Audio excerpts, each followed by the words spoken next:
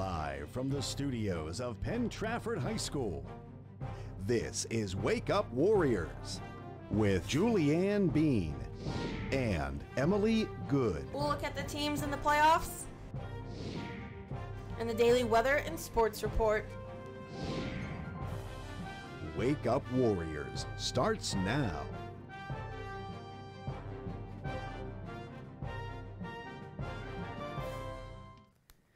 Good morning, Penn Trafford, and welcome to Wake Up Warriors. I'm Julie. And I'm Emily.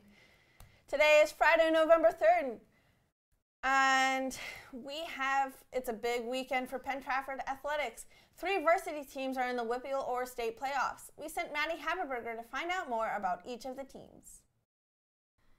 It's playoff season in Penn Trafford, and this year we have three teams competing in the WPIAL and State playoffs. I caught up with some players from each team to see what their expectations are for the postseason. This is the field hockey team's second year in a row winning the WPIAL Championship. Emily Polakowski is hopeful that the team will advance as they play the first round of state playoffs this weekend. So we just recently won the Double A Championship, and now we're headed to the first round of the state playoff. And in order to get to this spot, um, it obviously took a lot of hard work, and this year it was a lot more hard work and dedication in order to get to where we are. I think our biggest challenge in the state playoffs is going to be just the overall experience of the other team because of where they're from. They play a lot more um, tough and experienced teams. The team's really close, which I think made a huge impact on how we got this far. Our girls soccer team is playing in their first WPIAL Championship since 2003 this weekend. I caught up with senior captain Kenzie Youngs, who's excited to face Norwin for a third and final time this year. This Saturday, we play Norwin at Highmark for the WPIAL Championship. Norwin was nationally ranked at the beginning of the year until we beat them the first time we played, and the second time we tied.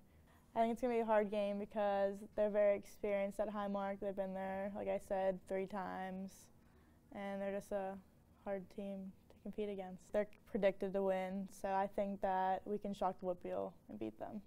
The football team is the number one seed in the WPIAL 5A playoff bracket. After a tough loss last week at McKeesport, John Gay believes that this team has what it takes to get to Heinz this year. Uh, we're in the first round of the playoffs. We're facing Fox Chapel. Um, we think we can get a win against them and move on to the next team. We don't know who it's going to be, but we think we're the best team in WPIAL 5A, so we think that we can make it to the WPIAL Championship this year. We want to go to Heinz because it's just, we haven't been there since our sophomore year and we still never won it. And it'd be a big, big thing for the school if we were able to go to Heinz and actually win there. Best of luck to all three teams this weekend. This has been Maddie for PTTV. PT Ski and Board is ready to go. We are having a very important all member meeting on. Sorry.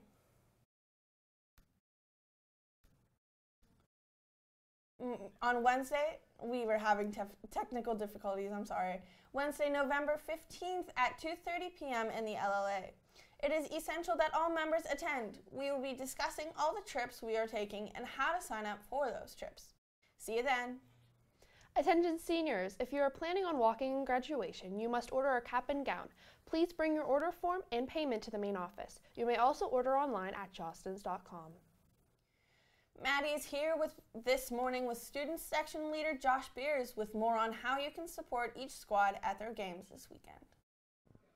It's a big weekend here in Penn Trafford. We have three teams in the playoffs. We're kicking off the festivities this afternoon with a pep rally, and tonight the football team plays Fox Chapel at home in the first round of the WPIAL playoffs. Now, Josh, what's the theme for this game, and why is it special?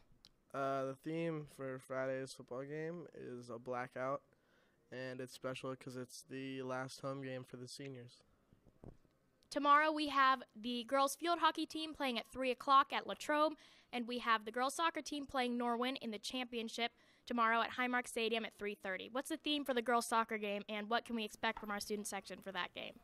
Uh, that game is Warrior Army because for all championship games, the Warrior Army comes out for battle, and uh, we just want anyone we can to show up to the game. We want our big student section to be loud. All right, best of luck to all three teams competing this weekend. Let's take it back to the desk.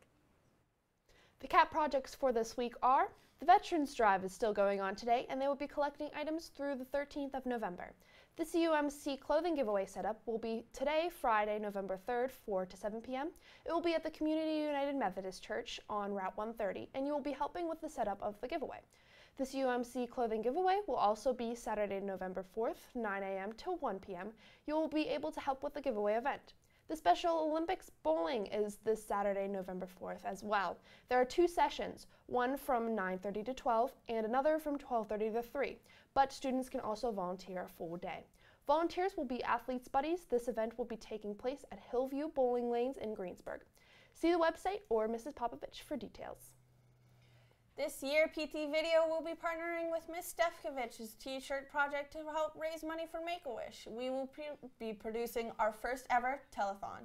This will take place on December 22nd, the day before break.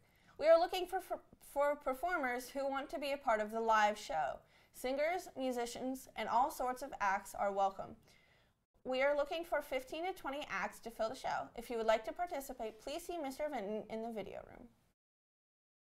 PT Student Literacy, magazine, Traces, is excited to announce the winners of its Scary Story contest. The top prize goes to freshman Brooke Sargut. Runner up goes to freshman Dominic DeMarcus. Several authors have also been earned an honorable mention. Noel Bass Riley, Mara Coiner, Haley Dahar, Alyssa Flinger, and Rebecca Radishek.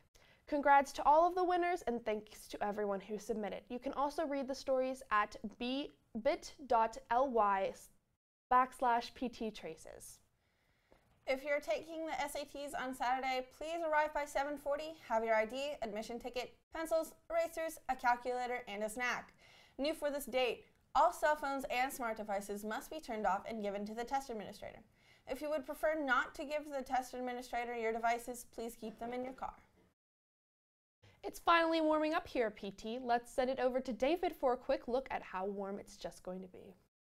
As we break into the month of November, the temperatures are continuing to fluctuate. Though yesterday had temperatures ranging in the mid to late 50s, today's high is a mild 62 degrees. The low will only reach around 37.